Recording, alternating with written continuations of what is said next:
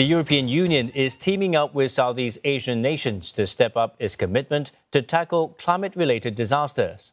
Both regions face increasing natural disasters such as earthquakes and floods, from the devastation of Typhoon Yagi in Asia to Storm Boris wreaking havoc in Europe. These crises highlight the urgent need for effective climate strategies. The partnership focuses on meeting immediate needs while building long term resilience against future threats. And to provide more insight on how the EU is adapting its strategies in light of increasing frequency of climate related disasters, we're joined by Janez Lenarcic, the EU Commissioner for Crisis Management. Now, Commissioner, prior to your visit to Indonesia, you wrote an article for an Indonesian publications where you mentioned that extreme weather events are becoming more frequent due to climate change. How is the EU adapting its disaster preparedness and response strategy to handle the growing number of climate related disasters? Well, we are strengthening our own union civil protection mechanism in order to be able to face this increased impact of the climate breakdown. We see the answer to this new environment, to the new reality in strengthened cooperation, strengthened mutual uh, solidarity among EU member states, but also in other regions like Southeast Asia. That's why we have supported the uh, AHA Center for humanitarian aid and disaster management since its establishment. And today we have signed a, a new administrative arrangement that further strengthens this cooperation.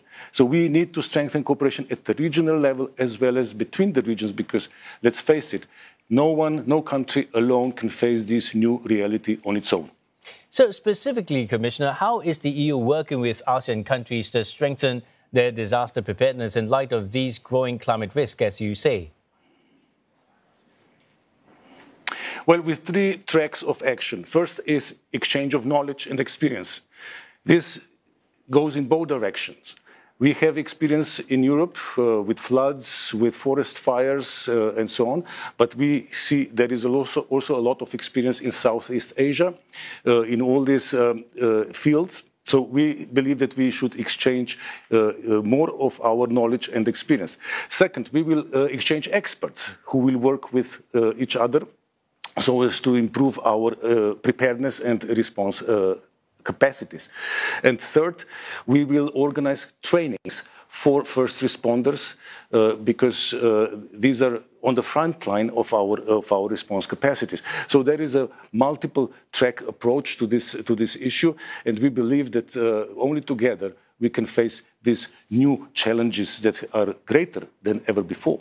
Indeed. Now. Typhoon Yagi and the floods in Europe, which you referenced in your article, highlighted the global nature of the climate crisis. What lessons has the EU taken from these recent events in both Southeast Asia and Europe, and how are these lessons shaping the EU's climate resilience efforts? We have, in the, in the face of this new reality, we have decided to pursue two uh, avenues of our st uh, stronger action. First of all, we need to invest more in prevention and preparedness. We cannot only focus on response, meaning we can only we cannot only act once disaster already happens, because with this new uh, intensity and frequency of disasters, we would soon be overwhelmed if we only focus on response. We need to focus more on preparedness, on adaptation, and also on prevention where we can still prevent.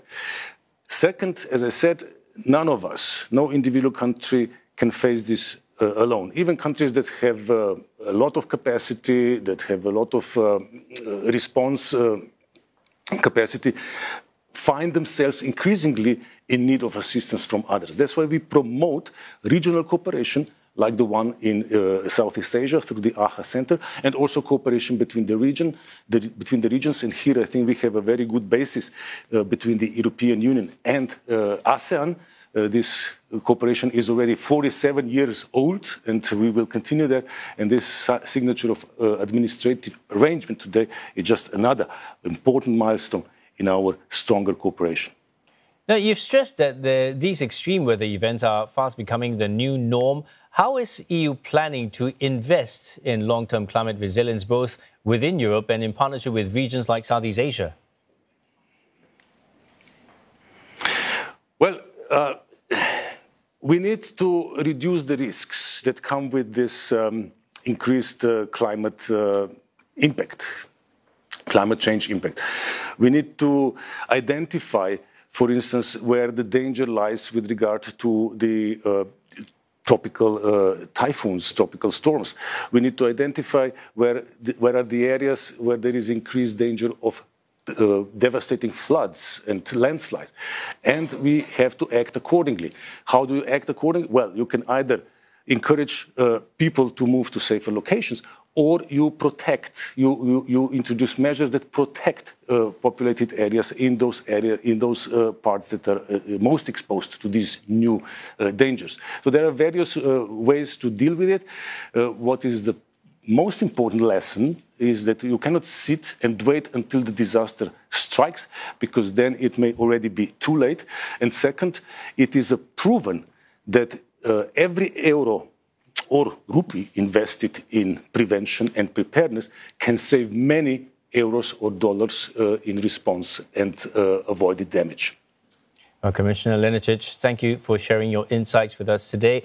We've been speaking with Janez Lenarcic, the EU Commissioner for Crisis Management. Thank you.